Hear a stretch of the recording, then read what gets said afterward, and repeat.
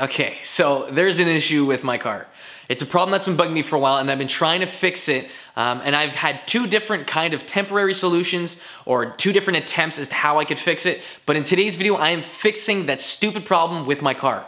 So if you guys have a 370Z, if you have a G37S or any kind of VQ that has this stupid clutch helper spring, you guys will know exactly what I'm talking about. So the clutch pedal feel, the engagement isn't exactly linear. It doesn't give you confidence and it's quite difficult uh, just to get the car started and going off the line. So if you guys, you know, want to do a burnout, it's pretty easy to just mash the gas pedal and drop the clutch. But if you want to get off somewhat slowly and gently, that is kind of difficult. And that's why this video is going to be tailored to you guys to solve that problem. So what I have today is a replacement RJM completely adjustable clutch pedal assembly. That whole new clutch pedal is going to replace the stock one that's in the car and it's going to make the clutch pedal feel completely normal. It's going to be predictable, it's going to be really smooth, and it's going to be the clutch pedal that you guys wish you had in the car. Now if you guys have one already, you guys know how killer it is. But in today's video, I'm gonna be showing you guys how to do the full replacement. I'm gonna show you how to take it off. I'm gonna show you how to put the new one in and everything that you need to know about this DIY. Now, there's a reason why I said DIY. You can bring this to a shop to get this done, but there is going to be some fine tuning afterwards, which is a little bit time consuming. So you guys can do this with simple hand tools. What I suggest to you guys is get comfortable, get your tools out, get everything laid out, and take your time with this. You don't wanna rush it and you don't wanna mess this up. If you misalign something or don't put it in the proper orientation, you could fry your clutch in a matter of no time. But if you guys watch this video and do exactly as I say, you guys are gonna be in good hands and you'll know exactly what to do. So that's enough talking for now. Let me show you what I have, let me show you what I'm taking out, and I'm gonna show you the full process. Let's get right into it. So everything that we're going to be changing today is going to be accessible from the driver's side footwell area of the car. The stock clutch pedal does have a little bit of play in it and it will be eliminated with the installation of the replacement RJM clutch pedal assembly. You can see the clutch pedal moves a bit before it engages the clutch master cylinder. So first things first, let's disconnect the clutch master cylinder from the clutch pedal. It's held in place by a clevis pin and that pin is secured with a hairpin clip.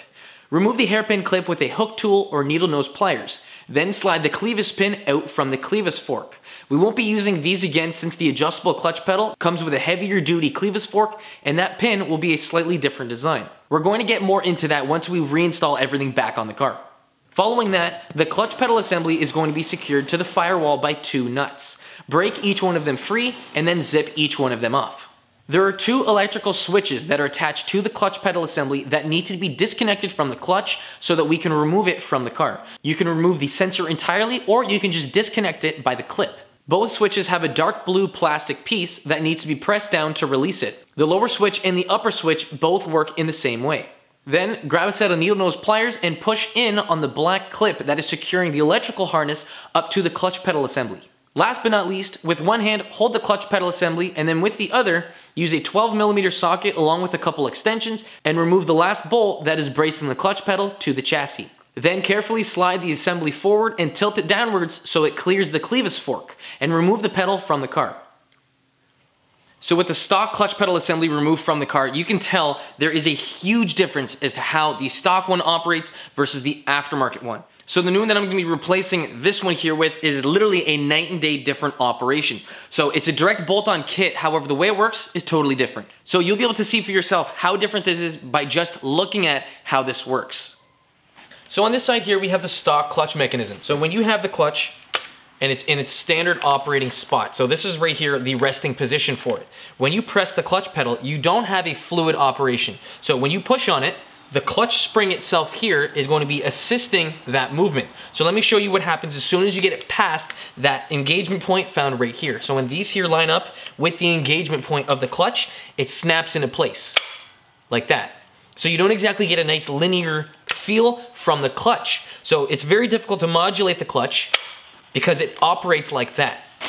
So the new one that I have right here is not like that by any means. This setup here has a very nice and fluid engagement point. It's completely linear, so when you press the clutch pedal, the more you press it, the more it goes in. It's very smooth, it's very nice, and this here is gonna completely change how the clutch pedal will feel. Operating the clutch is gonna be so much easier using it this way. So if you do have this stock setup here, you can remove this clutch spring. You can also replace it with a lighter one, which is what I've done. So it won't do this so hard, but that spring is going to be affecting the way the clutch feels. Before we go ahead and install this one here, let me show you some really cool things about this clutch setup.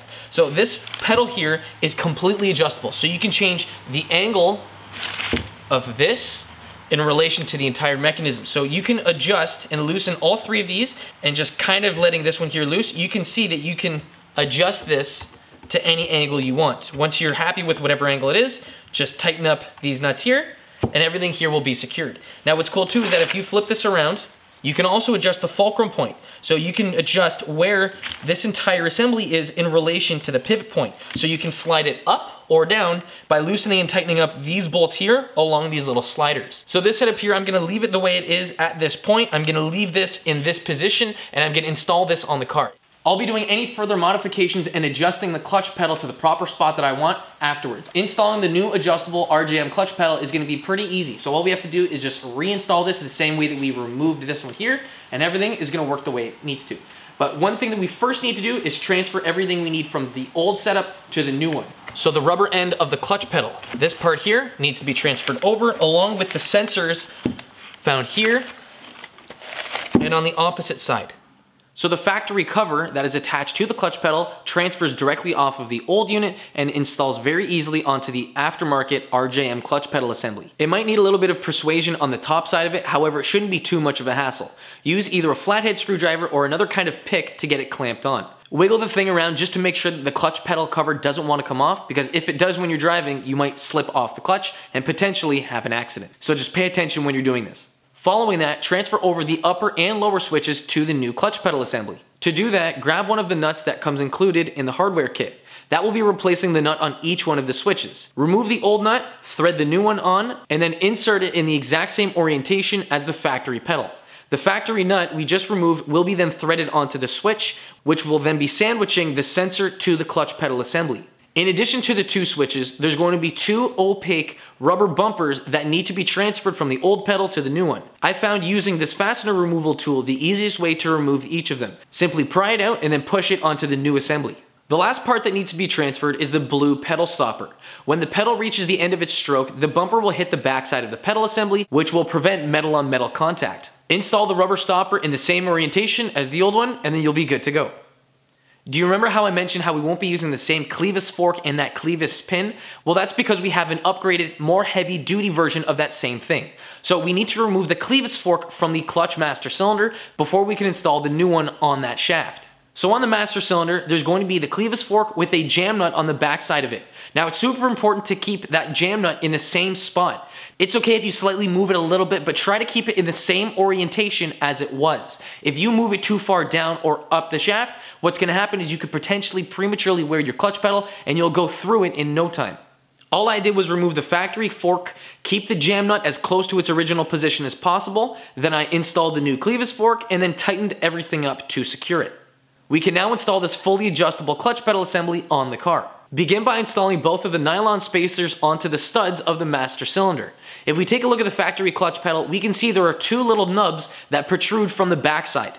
The RJM pedal does not have that, so that's why these nylon spacers come included in this kit to replicate the same design as OEM. That way it's going to be a direct bolt-on to your car. For the install, you can choose to have either the lower portion of the clutch attached to the assembly. However, you can actually make it a little bit easier during this install by not installing it yet. Install the entire top part of it up to the chassis and then follow it up by installing that lower part of the arm up to the top part.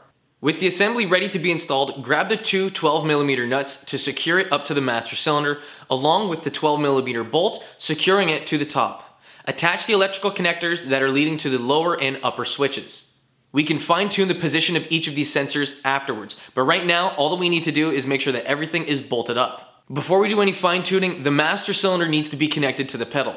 Grab the heavy duty clevis pin and guide it through the fork and the pedal. Twist the pin upwards so it clips onto the fork. Then attach the lower portion of the pedal onto the assembly.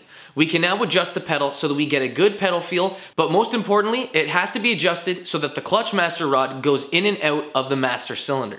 Start off by loosening the two 12mm nuts on the very top of the assembly, which allows the lower part of the pedal to be dropped or raised. This is a very important adjustment since it allows the clutch rod to be positioned in a proper way so it only moves in and out instead of moving in and out in addition to up and down. If it does that, you're going to be prematurely wearing your clutch master cylinder and potentially your clutch as well. Once that is adjusted, inspect the switches to make sure they're depressed when the clutch pedal is in its resting position, along with the other switch when the clutch is fully engaged. Following that, you can adjust the physical position of the clutch pedal in relation to the other ones. I lined mine up with the brake pedal, which is where the position of the previous clutch pedal was.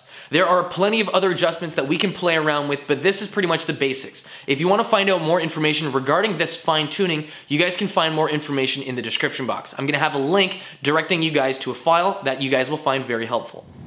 Okay, so what do I think so far of this new clutch pedal? Uh, my first impressions, holy crap. I don't know why I didn't get this thing a long time ago in the beginning. Now, when you have the replacement clutch pedal installed on the car, you will feel the exact part where the clutch engages with the transmission. Um, you didn't exactly get that feel beforehand. So with this kind of setup here, you're gonna feel it, it's gonna be super smooth, and it's gonna feel like a normal clutch pedal. Now, the thing is with this, you get a really nice linear feel on the clutch. So you get a nice engagement point, it's very predictable, and it's not numb like the old setup. The old setup, as soon as you got it past that little spring position, it would snap and help push into place the clutch. It made it so that it was very difficult to engage the clutch. It made it so that it's very numb. You couldn't get a good feel for it, and it was difficult to modulate it whenever you wanted to try and either start the car or slow down. Now, if you guys have a G or a Z or whatever car that has this same clutch pedal with the stupid helper spring, take it out, screw the little spring. Replacing that clutch spring does make a difference. It is slightly better because it doesn't feel so numb. But if you have the money to spend and you want the best solution possible, this here is by far the best option. This here is my first impression of it, but from the looks of it, as long as you install this properly and you make sure that the rod for the clutch master cylinder goes in and out straight, you're not gonna have any issues with this setup. Now, if you guys wanna find more information regarding the install, because it can be very finicky and you do have to adjust it afterwards, um, if you want to find more information about that, you guys can find more information in the description box along with uh, Ryan's website. So you can purchase this exact clutch pedal for your Z, for your G, for whatever car that they sell the clutch pedal for. And it's a great solution to the stupid clutch problem that Nissan has designed. If you consider the price of a new clutch versus the price of this RJM clutch pedal, you're going to find that the clutch pedal itself is going to be a lot cheaper to replace than a new clutch. So if you can't feel the engagement point or you can't exactly get a good amount of modulation from the clutch pedal assembly, when you're driving the car, you're going to be replacing that clutch in no time. So if you guys purchase this, you're going to be able to feel the engagement point, it's going to be completely predictable, and it's going to be what the clutch pedal should have been like from the manufacturer. Now, if you guys have any other further questions regarding the video, you guys can check the description box. I have more information there for you guys. If you guys want to pick one up, you can contact Ryan or buy one of these from his website. That link is going to be in the description box as well. But if you guys have any further questions, comment sections down there. You guys know what to do. If you found the video helpful, give it a thumbs up. Share this with one of your G or Z buddies. Maybe they don't have this thing and maybe this is the solution to their problem. Anyways, guys, thank you so much for watching. I'll catch you guys in the next one.